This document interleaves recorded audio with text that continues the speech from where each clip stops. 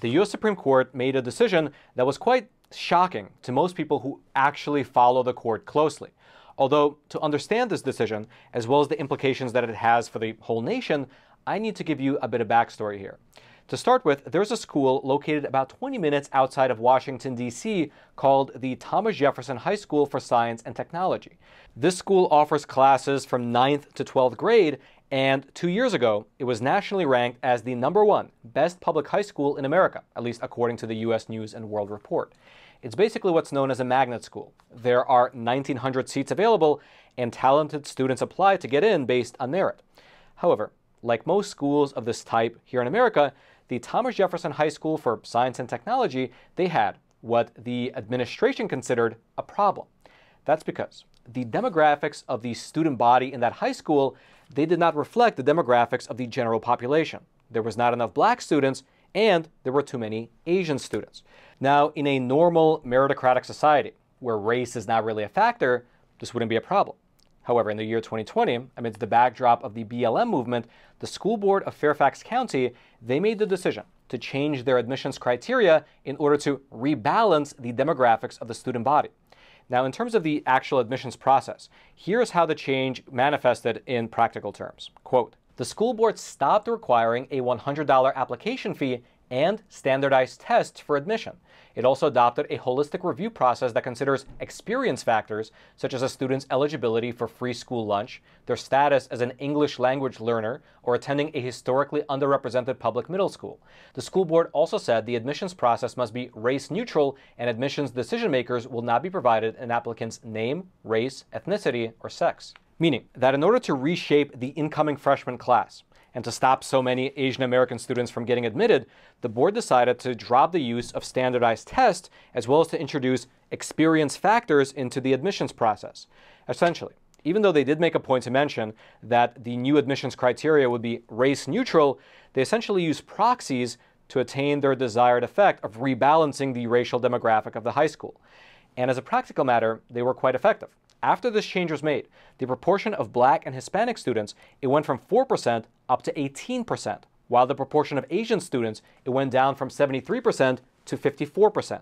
And also, just as a fun aside, during that same time period, the school went from being ranked the number one high school in the country to the number five high school in the country. But that part might just be a coincidence. Regardless, because of this change, Asian American parents and Asian American students, they formed an organization called Coalition for TJ.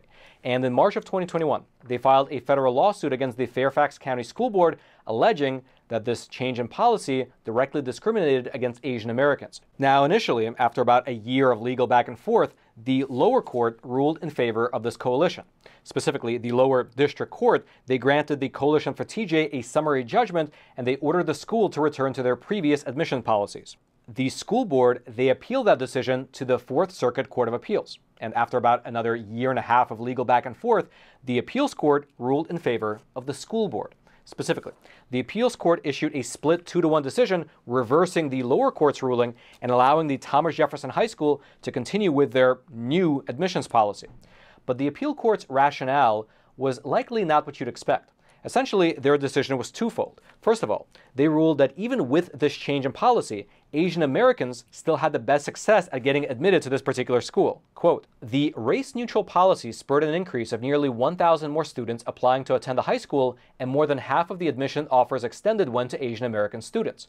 Black students received less than 8%, Hispanic students were given slightly more than 11%, and white students received more than 22% of the offers. Meaning, according to the court's rationale here, even with the new policy, even though it took Asian Americans from 73% to 54%, it still made Asians the most successful at getting admitted. And therefore, quote, the policy visits no racially disparate impact on Asian American students. Indeed, those students have had greater success in securing admissions to TJ under the policy than students from any other racial or ethnic group. Second, the appeals court decided that the drop in Asian American students at the Thomas Jefferson High School, it did not fall below the average percentage of Asian American students in the general area where the high school was located. In the city of Alexandria, the average high school has about 6% Asian students, while Thomas Jefferson High School used to have 73% Asian students. Then, after the school board implemented their change in the year 2020 in order to change the racial demographics, Thomas Jefferson High School decreased their Asian students from 73% down to 54%. Now, that's of course a big drop, but since it did not go below the baseline of the other schools in the area, well, the court, meaning the appeals court, decided that it was still okay, meaning in practical terms that this racially discriminatory policy should not be considered discrimination because it wasn't effective enough. Now, as you would imagine, the Coalition for TJ, they were not pleased with this ruling, and therefore they appealed this decision all the way up to the U.S. Supreme Court. Here's part